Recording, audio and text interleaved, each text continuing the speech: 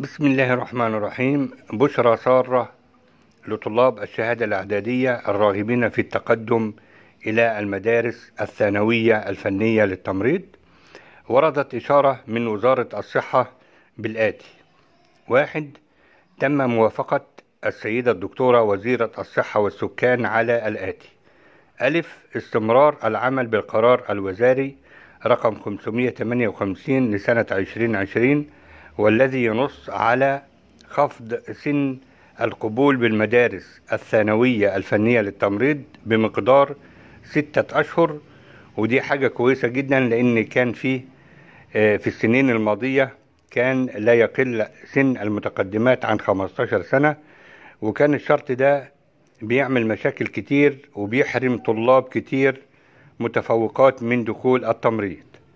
به استثناء أبناء شهداء الواجب الوطني اللي هم أفراد الجيش والشرطة والجيش الأبيض اللي هم الكوادر الطبية من جميع شروط القبول ما عدا الكشف الطبي.